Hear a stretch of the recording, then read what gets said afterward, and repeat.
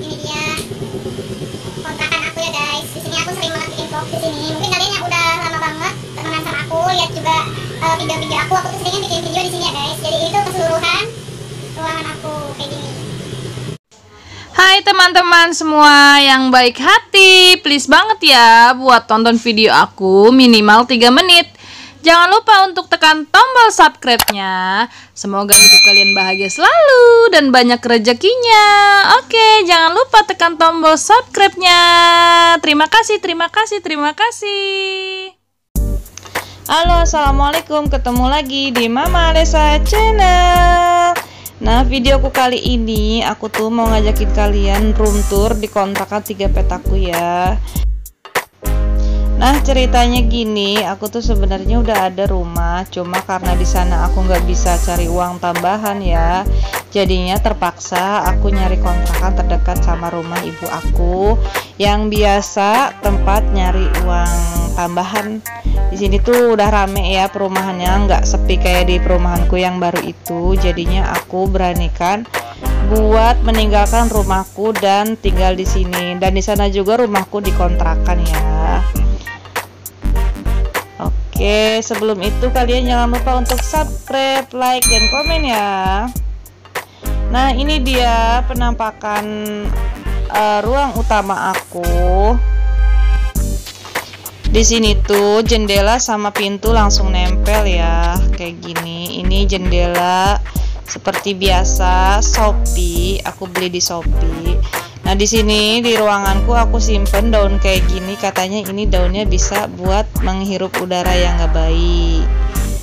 Dan di sini aku taruh beberapa pajangan ya. Aku suka kayak saya bisa begini sebenarnya. Dan ini juga boneka-boneka anakku yang tadinya di kamar, kamarnya dia masing-masing. Sekarang aku taruhnya di sini. Ini tipiku masih tipi tabung ya aku suka kayak gini pajangan-pajangan kayak gini kayak boneka tapi yang unik-unik. Dan ini lemari pajanganku ini jatuh kemarin ke bukannya jatuh ke endet gitu pas di mobil jadinya pecah.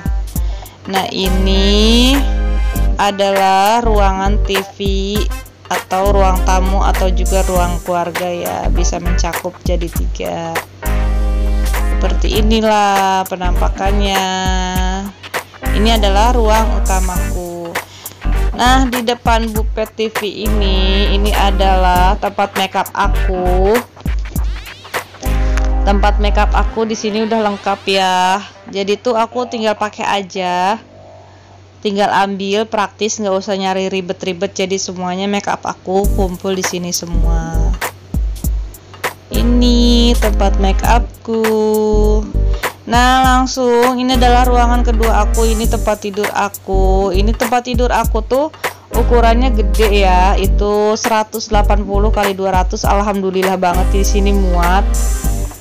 Aku taruh kayak gini lampu-lampu. Nah ini juga lemari kulkas aku taruh di sini dan meja andalan buat aku ngevlog ya. Mungkin kalian yang sudah lihat di video aku yang lain itu kalian tahu lah dan ini lampu lampu-lampu kayak gini tuh buat penghias ruangan aja biar cakep.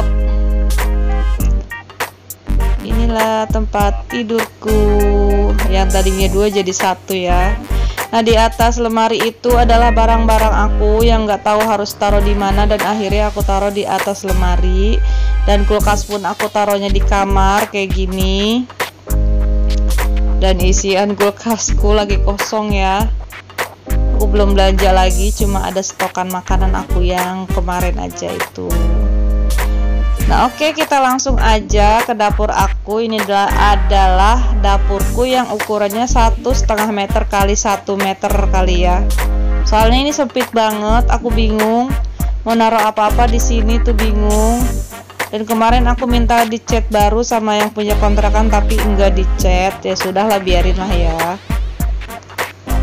Oke kayak gini. Aku taruh-taruh yang kayak gini yang simple-simple aja. Jadi rak-rak yang gede itu nggak aku pakai.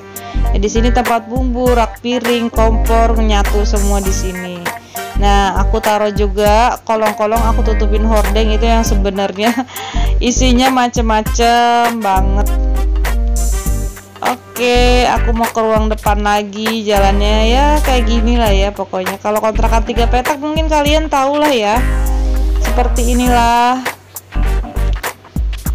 ruang tengahku. Dan ini dia yang aku tutupin pakai korden. Itu sebenarnya kayak gini, berantakan banget. Pokoknya ini ya aku akal-akalin lah ya biar belum berantakan begini, makanya aku tutup korden jadinya ke kelihatannya sedikit rapi. Nah, oke, okay. lanjut aja ke kamar mandinya kayak apa. Ini dia kamar mandinya kayak gini, super sempit banget sampai aku bingung naruh apa-apa juga ya taruh ember di situ di atas WC di atas kloset. Ini baknya aku segede gitu aja yang bisa nampung lumayan besar. Dan di sini itu biasanya aku cuci piring nih di sini. Aku cuci piringnya di sini jadi nggak ada wastafel sama sekali. Jadi aku ya cuci piringnya jongkok gitu lah ya. Oke aku balik lagi ke ruang utama aku. Seperti inilah kondisinya kontrakan aku ya lumayan nyaman lah ya. Yang penting pakai AC yang penting dingin gak panas. Itu menurut aku udah nyaman.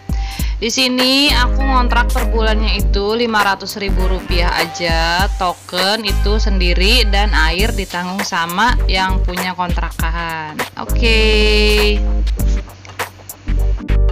nah guys ini dia kontrakan aku ya guys. Di sini aku sering banget bikin vlog di sini. Mungkin kalian yang udah lama banget temenan sama aku, lihat juga eh, video-video uh, aku. Aku tuh seringnya bikin video di sini ya guys. Jadi ini tuh keseluruhan ruangan aku kayak gini. Nah, oke okay guys, sampai di sini aja room tour aku. Terima kasih yang udah nyimak. Jangan lupa buat subscribe, like dan komen di video aku ya guys. Oke, okay, terima kasih. Assalamualaikum.